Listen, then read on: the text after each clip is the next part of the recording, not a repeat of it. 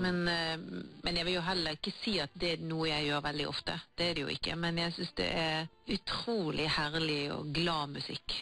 Men nå skal vi eh, nordover i Norge. Du vil høre en eh, julesalme av Trygve Hoff. Ja, Trygve, Av Trygve Hoff. Ja, Trygve Hoff var jeg så heldig å få jobbe med i 86, tidlig, desember 87. Veldig ung. Men han har jo skrevet utrolig mye flott. Og han har blant annet skrevet nord... Og han har blant annet skrevet nordnorsk julesalme. Den har jeg, jeg tror kanskje jeg har sunget den én gang. Men eh, jeg har jo da ønsket at vi skulle høre den med Maria Haukås Smittet sammen med Oslo Gospel Choir. Og jeg syns at eh, måten hun synger den på er bare så utrolig flott. Hva husker du fra møtene dine med eh, Trygve Hoff? Jeg synes jo, jeg husker jo han som en sånn bamse. En stor bamse, og var kjapp i replikken. Det var mye latter. Og han Han var en veldig sånn fargerik person. Han skrev uh, musikk til den første juleplata di som kom ut i 1987. Ja, han skrev uh, Den store stjerna sammen med Svein Gundersen. Og han fikk jo heldigvis oppleve at den sangen kom ut. Og, og han fikk jo også oppleve at uh, den ble veldig godt mottatt. Så det er jeg veldig glad for. Den ble veldig godt mottatt. Så det er jeg veldig glad for. Men nå skal vi høre nordnorsk eh, julesalme med tekst og melodi av Ikke nordover. Ja, jeg har vært en god del eh, nordover i og med at jeg har venner som bor i Tromsø. Jeg har ikke feiret jul i eh, Tromsø, men jeg har feiret noen nyttårsaftener. Det er så vakkert der. Det er så vilt, og det er så vakker natur at det, noen ganger kan det ta pusten fra deg. Velsignede dag over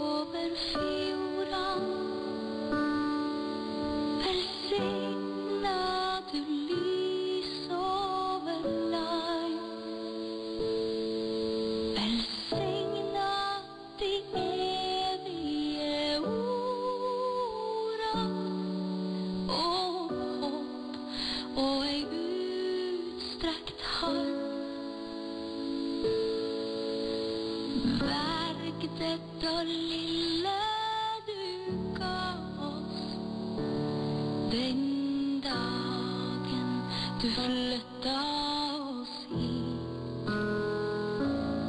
Så vi kjenner du aldri vil la oss forkomme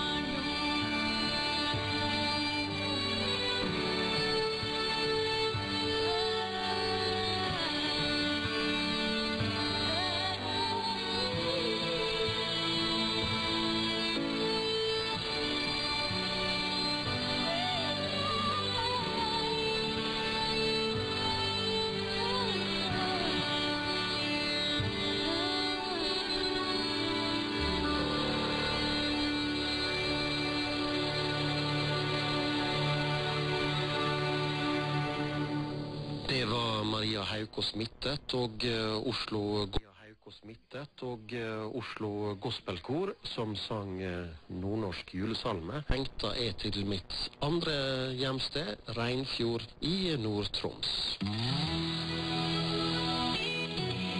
hører Tro, håp og livesenter.